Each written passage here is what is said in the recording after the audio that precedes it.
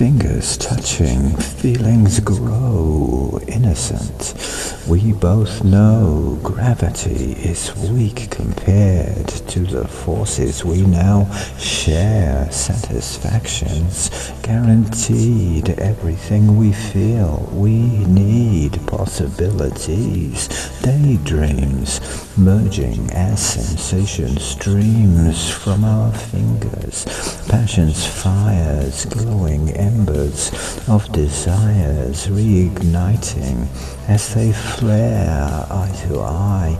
It's time to dare, lips on lips with tongues entwined, skin on skin and mind to mind, fingers reaching down below, warmly touched we feel a glow strong enough to overcome separation, to be one, being drawn by the unseen power surging in between fingers.